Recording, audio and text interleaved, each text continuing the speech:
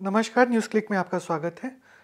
जो लगातार rational voices पे हमले जारी थे नरेंद्र दाभोलकर से शुरुआत हुई थी, कलबुर्गी की हत्या हुई दो साल पहले, उसमें एक नाम और जुड़ गया है गौरी लंकेश का। और इसी मुद्दे पे चर्चा करने के लिए आज हमारे बीच मेघा पानसरे जी मौजूद हैं। मेघा से हम गौरी लंकेश के बारे में चर्चा करेंगे। कॉमेंट पानसारे और दाभोलकर का केस कहाँ तक पहुँचा है, उसके बारे में भी बात करेंगे।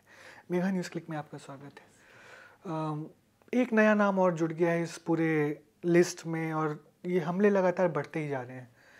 मूड्स ऑपरेंडी जो है वो एक ही है। आज तो पेपर में भी आ गया है कि जो पिस्टल यूज़ हुई थी वो भी एक ही मैन्युफैक्चरिंग कंपनी से आती है। अ, क्या लग रहा है इस मतलब किस समय से गुजर रहे हैं हम? हम लोग एक बहुत गंभीर और बहुत दुखद समय से चल रहे हैं। मुझे लगता है कि डॉक्टर दाभोलकर जी पर खून खूनी हमला हुआ था, उसको अभी चार साल हो गए। और ढाई साल पहले कॉमरेड पानसरे पर हमला हो हमला हो गया था और प्रोफेसर कलबुर्गी जी की डेथ होने के बाद भी अभी दो साल हो गए।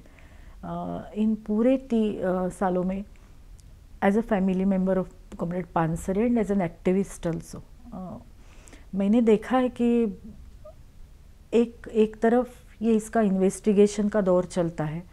और दूसरी तरफ़ कुछ ऐसी चीज़ें नहीं होती जो होनी चाहिए थी, जो एक्सपेक्टेड थी। मुझे ऐसा लगता है कि एक बहुत बड़ा रीज़न ये आगे वाली हमल हमलों में है। वो ये रीज़न है कि इन पहले तीनों केसेस में कुछ जैसा हम लोग कहते हैं कि दो लोगों को अरेस्ट हो गई। एक को तो बेल मिल गया है, वो फ्री है अभी।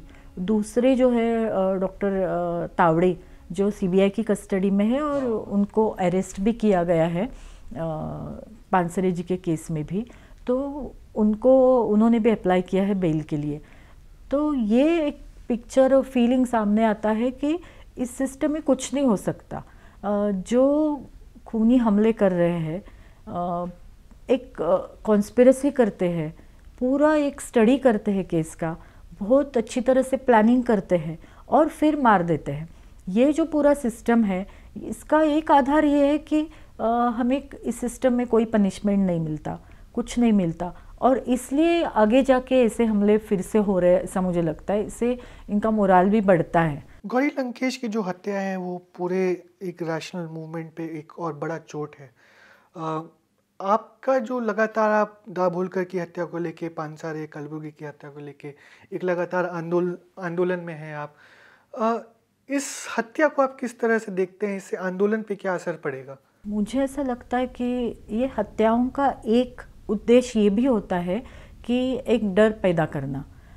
जो लोग ये सब तीनों लोग और ये अभी गौरी लंकेश जी भी उनकी जो पहचान है, वो उनकी निर्भयता पूर्ण जो एक्सप्रेशन है उनका, जो जिन, जो सोचते थे वो बोलना, वो व्यक्त करना, ये उनकी पहचान थी। तो मुझे लगता है उनकी आइडियोलॉजी और उनका एक अपनी निर्भयता, ये इस पहचान को अगर कोई शटर करना चाहता है तो मुझे लगता है ये जो हमले हो रहे हैं, उससे ये उद्देश्य उनका दिखाई देता है। तो मुझे ऐसा लगता है कि ये एक थ्रेड भी है दूसरे लोगों को जो उन्हीं के तरह सोचते हैं उन्हीं की तरह काम करते हैं उन्हीं की तरह निर्भयता से अपनी बातें रखना चाहता है। उन उनके लिए ये थ्रेट है ऐसा मुझे लगता है। ये गौरी लंकेश की हत्या पे सना, सनातन संस्था ने कहा कि अभी एविडेंस का वेट करना चाहिए देखेंगे।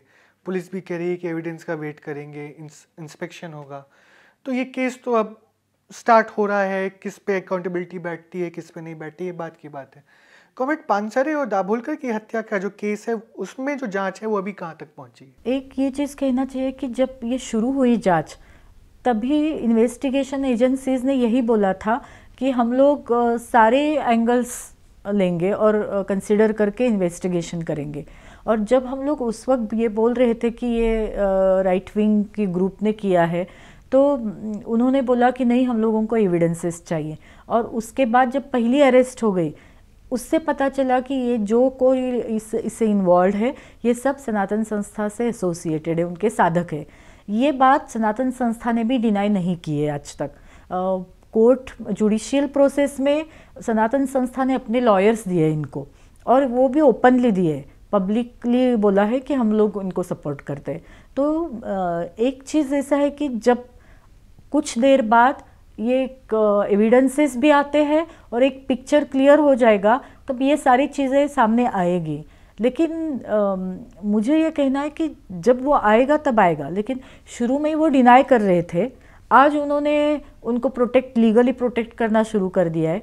तो ये उनकी हिस्ट्री भी देखनी चाहिए ऐसा मुझे लगता है। ये जो पूरा मुद्दा लगातार हमारे सामने आ रहा है इसके साथ ही साथ एक ये भी एक ट्रेंड हमने देखने को मिला है हमें कि सोशल मीडिया पे बीजेपी के ऐसे कई सारे अकाउंट्स हैं फेसबुक ट्विटर जिसको कई ऐसे लोग हैं जिससे पीएम मोदी खुद फॉलो करते हैं। वो लगातार अपशब्दों का इस्तेमाल कर रहे हैं ऐसे लोगों के लिए कि अच्छा हुआ, बहुत बढ़िया हुआ। इस पूरी मानसिकता को किस तरह से देखती हैं आप? ये मुझे लगता है एक विकृति हो गई है मानसिकता में। क्योंकि हमारा समाज और जिसकी संस्कृति के बारे में बोला जाता है और यही लोग आरएसएस के लोग बोलते हैं कि हमारी एक महान संस्कृति है और हज़ारों सालों से हम लोग ये संस्कृति जतन करते आए हैं। तो ये कौन सी संस्कृति है कि जिसमें, जिसका अगर किसी को, किसी की ज़िंदगी ख़त्म की जाती है और इतने ब्रूटली उसको मारा जाता है और उस पर लोग खुश हो जाए?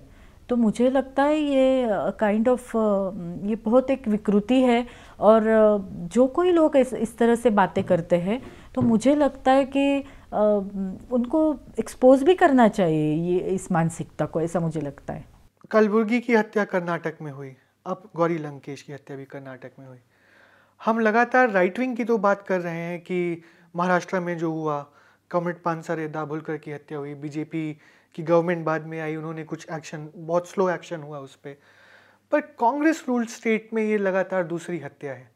तो इससे, इसे आप कैसे देखती हैं और आगे का रास्ता क्या होगा? मुझे सच में ये बहुत स्ट्रेंज लगता है कि जहाँ कांग्रेस पार्टी की सरकार है, वो प्रोफेसर कलबुर्गी जी के केस के बारे में इतने इनएक्टिव रहे, इतने इनडिफरेंट रहे हैं कि कोई उनका एक एटीट्यूड नहीं दिखता कि इसके हल डीप रूट तक जाना चाहिए।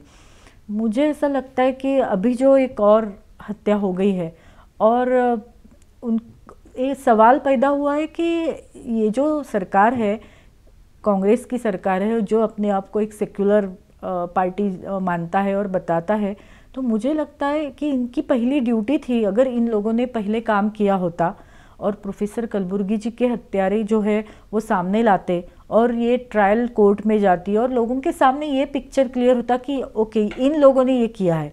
तो मुझे लगता है कि आगे जिन्होंने भी ये किया है, जिन्हीं भी फोर्सेस ने ये किया है, मुझे लगता है उन पर एक तो दबाव आ जाता कि हम लोग पकड़े जाएँगे। तो आगे सोच के मुझे ऐसा लगता है कि ये जो पॉलिटिकल इंडिफरेंस है एक प्रकार की उदासीनता है कि कोई कर नहीं रहा कुछ इस मामले में। इसको अगर हम लोग एक्टिव बनाना है तो जिस तरह से अभी दो दिन से प्रोटेस्ट हुए और मुझे लगता है कि यूथ इसमें आया, जर्नलिस्ट लोग इसमें आए साथ में तो मुझे ऐसा लगता है कि आगे जाके इनकी एक प्रोटेस्ट तो बढ़ानी चाहिए और अभी कर्नाटक सरकार पर तो कम से कम इतना दबाव तो रहना ही चाहिए कि इन दोनों केसेस का हल जल्दी से जल्दी लोगों के सामने ये आना चाहिए और एविडेंसेस भी आने चाहिए और ये क्लियर होना चाहिए कि इन लोगों ने ये किया है। शुक्रिया मेघा अपना समय देने के लिए और हम लगातार आपके आंदोलनों का हिस्सा बनते रहेंगे और उसके लिए भी शुभकामनाएँ। साथ ही साथ ये केसेस जैसे आगे बढ़ेंगे लगातार हम इन मुद्दों पे आपसे चर्चा करते रहेंगे। धन्यवाद। न्यूज़ क्लिक देखने के लिए धन्यवाद।